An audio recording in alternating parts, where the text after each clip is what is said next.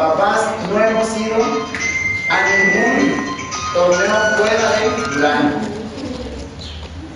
Teníamos el torneo en Torreón, tuvimos en Irapuato y no fuimos. ¿Por qué? Por cuestiones económicas. Entonces, señor candidato, y cuesta, como lo dice. Tenemos muchas necesidades, ¿sí? Nos falta el piso, que es parte fundamental para los que no nos pasen accidentes, ya han pasado accidentes. El piso se llama tatami. No es como un foam, pero grueso. Lo que no sé si haya visto el taekwondo en las olimpiadas, las áreas que usan ahí, ¿sí? Entonces tenemos necesidades, cuando vamos a torneos, eh, necesidad de autobús, ya con el tiempo. Pero más que nada, mi, invitación es hacerles saber que existimos, que estamos aquí en Vicente Guerrero, que, existe una escuela de taekwondo. Estamos aquí echándole ganas para sacar próximos seleccionados infantiles. No sé si tenga algo que decir. Gracias, hermano.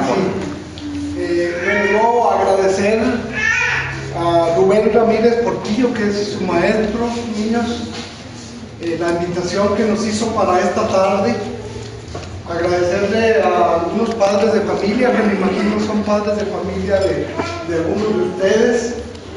Decirles que agradezco mucho esa invitación. Decirles que hoy Jacobo Vargas Velo se encuentra en una etapa ya muy avanzada de su campaña, en donde la verdad que nos da un tremendo gusto que nos inviten grupos organizados como este decirles que hoy me acompaña mi esposa Natalia, mi hija Silvita y nuestra candidata suplente a diputada, eh, que hoy también nos acompaña. Eh, decirles a todos los muchachitos aquí presentes que dentro de lo que traemos para ofrecer a los jóvenes es el Instituto de la Juventud, para aquí, para Vicente Guerrero. Un instituto de la juventud integral en donde caben muchas cosas para los jóvenes. Concretamente, en la petición que nos hace el maestro, decirle que esta invitación podría ser el inicio de una muy buena relación. ¿sí? Decirles que tenemos muy buen candidato a gobernador, Jorge Vera Caldera, que con el apoyo de los de Vicente Guerrero, de las mamás de Vicente Guerrero, de los papás de Vicente Guerrero, de la gente de Vicente Guerrero, va a ser nuestro próximo candidato a gobernador. Y decirles que trae muchos planes para los jóvenes, muchos planes para este tipo de organizaciones. Y en lo que corresponde a nosotros aquí aterrizando en lo que es nuestro municipio, decirles que de parte de Jacobo Vargas tendrán mucha apertura en caso de que con el apoyo de, claro, de todos los vicenteguerrerenses lleguemos a donde queremos, que es la presidencia municipal.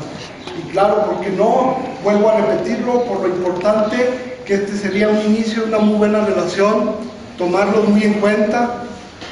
Esto que nos acaba de explicar el profesor, pues, para mí es muy interesante. Yo la verdad desconocía y le soy sincero, esta escuela de Taekwondo aquí en Vicente Guerrero. Yo los felicito a todos y cada uno de todos de ustedes, de los jóvenes y los niños chiquitos, porque veo niños pequeños que ya inician también en este bonito deporte, que para Jacobo Vargas el deporte va a ser prioridad y en esa prioridad cabe todo lo que usted menciona. ¿eh? Si de mi parte está podernos ayudar en alguna situación especial, con todo gusto lo vamos a hacer.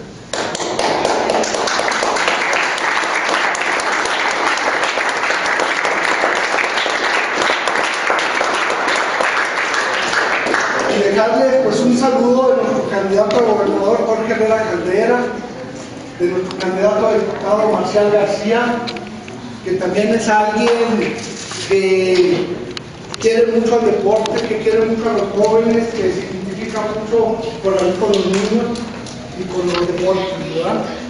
Y este deporte, créanlo, que Jacobo Vargas, en Vicente Guerrero, en Taekwondo va a encontrar un aliado. Un aliado en el cual podamos echar la mano en toda la medida de la posibilidad. Profesor, muchas gracias por la invitación, le agradezco y estamos a las órdenes. Gracias.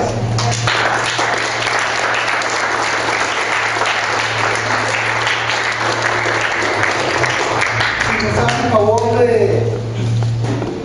un minutito nada más, aparte de ofrecerles la solidaridad y queremos les traemos un pequeño presente, muy humilde de verdad, pero de todo corazón todos los niños, de parte de candidatura de Marcial García y de Jacobo Vargas.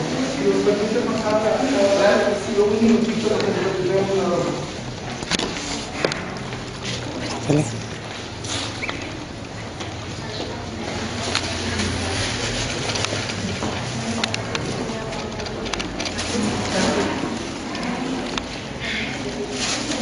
Ya cuando estén peleando. Claro. Luego no se regresan a su lugar. ¿De mañana?